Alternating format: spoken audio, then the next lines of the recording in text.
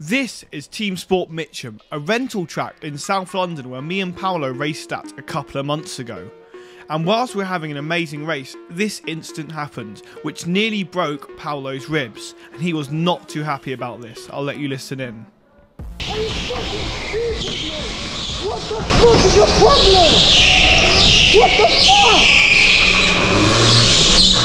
Now, I will say that apart from that incident, Team Sport Mitcham is a great track and the marshals there are lovely. But will the driving standards be a little bit better this time? Let's find out. So, as we cut to after the yellow light test, we have the lights going green and there's a big group of drivers in front. Our tyres aren't warm, so I'm going to play it a little bit cautious for now, but we still want to go for some great overtakes. One of the key things here is using your brakes for rotation. At Preston, you only have to brake down the ramp rotation, but there's three or four different places you have to brake here. So as we throw it down the inside for our first overtake of the race, we're going to boost up the ramp here and try and cut through the middle of both of these drivers. We're going to go around the outside of the driver at Owen. We're going to power down the straight for our first flying lap here at Team Sport Mitcham.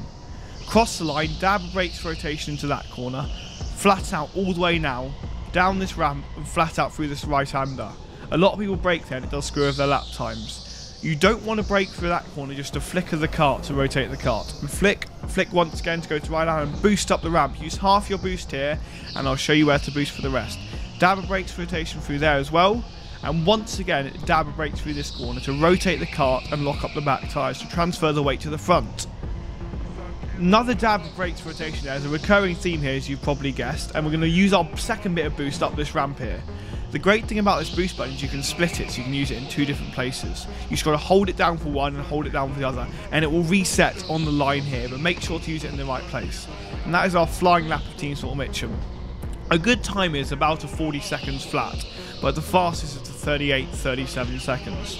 So we switch, try and edge it around the outside this driver. We don't quite have enough speed, so we're gonna he's gonna brake. So we're gonna boost up the ramp here and try and get a surprise in him. We do manage to go around his inside, and that's another overtake done, but it goes to red. As we cut back to some action here, we're gonna have to have a massive skill issue on my behalf. So we're trying to get past all these big group of drivers here. We try and switch to the inside, we don't quite have enough speed, and then this happened, which is really unfortunate. So I have a look to my right, there's no one there, but then I get stuck round the outside that's driving green. I don't have enough space to turn, and that is a massive skill issue on my behalf. Now that we've got ourselves out of that rather embarrassing situation, it's going to go to yellow here, and these guys speed off, and they go straight to green. So we're going to try and get some more crazy overtakes here at Team Sport Mitcham. If you have got this far in the video, comment your favourite F1 driver and let me know who it is. Mine is personally Lewis Hamilton, but I'd love to know who, you, who your favourite drivers are. As we come up the ramp here, we're going to try and do a move on this driver in green. As we try and switch the inside, but he still has the inside line for the next corner, so the next one's right-hander.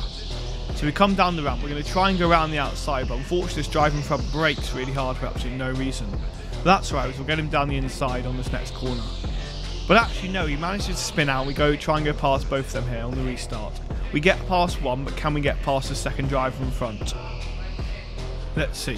So as we come through the tight chicanes, he's going to get a black flag, and then we're going to go past him as he goes into the pits. And an easy overtake up the ramp.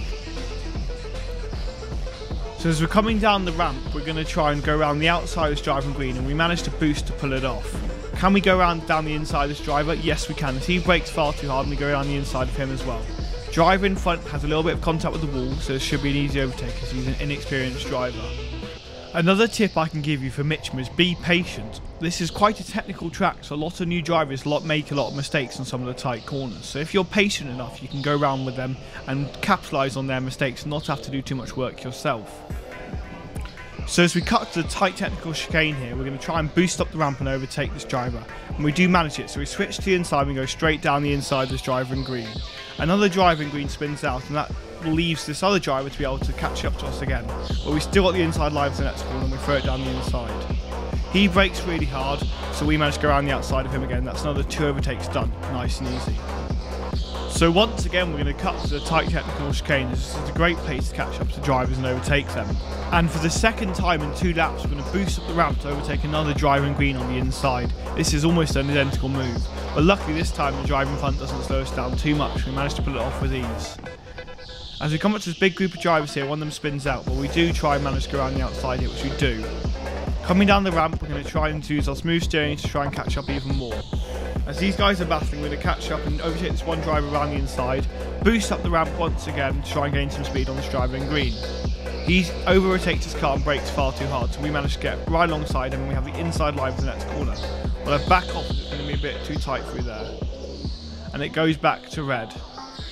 As we cut to another battle upstairs with another driver in green, we're going to go try and go around the outside of this driver on this next corner, but it won't quite pay off, as we don't quite have enough speed. So we're going to decide to play it safe and switch back to the left hand side and the outside and try and cut through the inside, which we do manage to do. But can we use the boost button to catch up? You think he's using the boost button well, which means he's found out about it. But no, he's just not quite quick enough. We managed to go around the outside secure that one overtake. That's another easy overtake done here at Team Sport Mitcham. And for the last overtake of the session, we actually have an illegal overtake. That means I overtake on yellow because I didn't even realise it was a yellow light. I immediately apologise and let these guys pass. And if you guys made this far in the video, make sure to comment how many overtakes we did in total. And I hope you guys enjoyed it. And don't forget to subscribe for more karting content on YouTube and like and comment the video.